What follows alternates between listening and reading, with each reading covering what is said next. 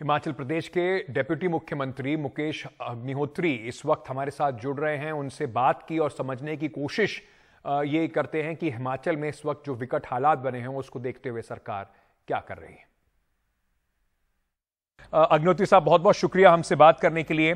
मैं सबसे पहले आपसे पूछना चाहूँगा, सर, अभी राज्य में क्या हालात हैं? सुबह से जो लगातार तस्वीरें सोशल मीडिया पे देख रहे हैं, वो बहुत डराने वाली तस्वीरें देखिए देखिए, हिमाचल प्रदेश में ये मानसून की जो शुरुआती बारिशें हैं, इसने पूरा तांडव मचा दिया है। नदियाँ सारे खतरे के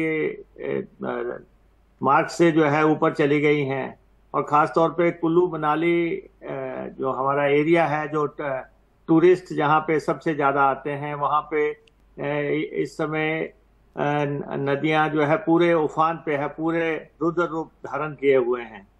और प्रशासन हमने निर्देश दे रखा है सब लोग सड़क सड़कों पे हैं लेकिन नुकसान बहुत हो रहा है। अब कई पुल बह गए हैं गाड़ियाँ बह गई हैं और नदियाँ जो है कई जगह सड़कों पे आ गई हैं।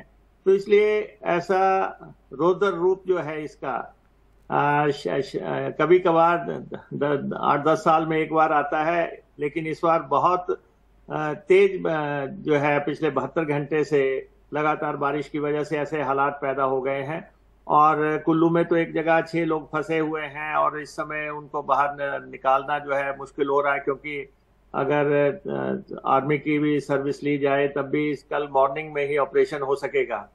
आ, लेकिन कई कई पुल आपने देखा होगा कारें आप आपने अभी विजुअल दिखाई भी कि किस ढंग से बह रहे हैं। अभी भी मैं जिस लोकेशन पे हूँ वहाँ नदी है।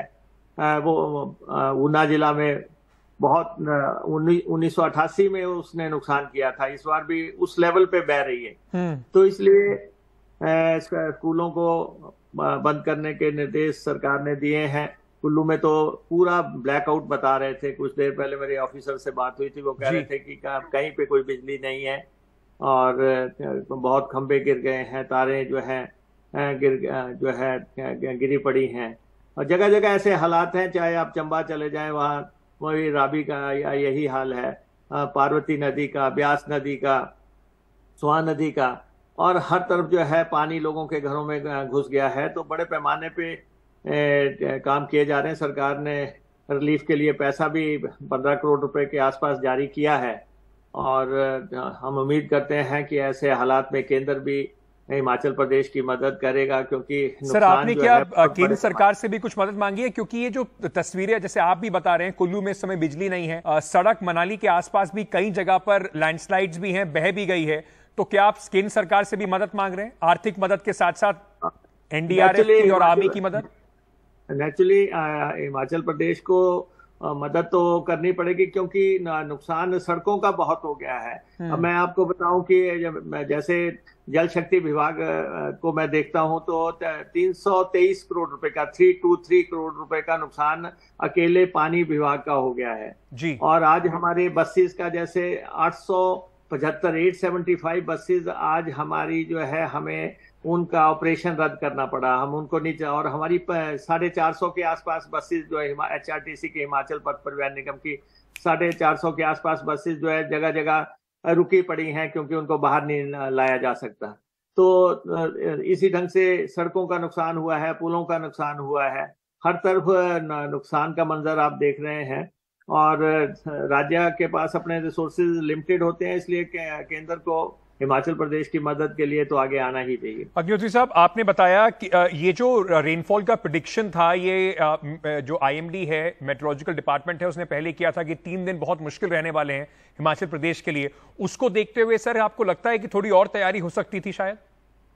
नहीं अब हमारी तो एडमिनिस्ट्रेशन सारी जो है पूरी तरह गेयर अप है। और सारे ऑफिसर्स मैं आपको बता रहा हूँ। अभी भी मैं जहाँ पे हूँ हमारे डिप्टी कमिश्नर और हमारे पाँचों एसडीएम तो सड़क पे हैं बारिश के बावजूद सारे सड़कों पे हैं सारे इंजीनियर्स हमारे सड़कों पे हैं ताकि आ, द, द, द, कम से कम जानी नुकसान को बचाया जा सके। हम्म। कल तीन डेथ हुई थी और और आज भी तीन डेथ रिपोर्ट की गई हैं मकान के मलबे के नीचे दबने से। तो इसलिए लेकिन फिर भी कोशिश ये हो रही है कि जानी नुकसान ना हो। और बिजली को हम रेस्टोर करके रख सकें, पानी हम मुहैया करवा सकें। और लोगों से कहा जा रहा है कि वो जो जो जो तेज करंट का पानी बह रहा है, उसे थोड़ा दूरी बना के रखें। सर, क्या एक बार आपको लगता है मैं अंत में आपसे फिर पूछना चाहूँगा, जो नदी के आसपास जहाँ पर बहुत कंस्ट्रक्शन भी है, उसको लेकर कई बार कई सवाल भी उठे हैं। आपको लगता है कि उसको थोड़ा सा और चेक करने की आवश्यकता है? ये मुसीबत के दिन जब टल जाएँगे तो एक बार फिर से देखने की ज़रूरत होगी कि नदी के बहुत आसपास सड़कें, मकान इस तरीके से ना बनाए जाए।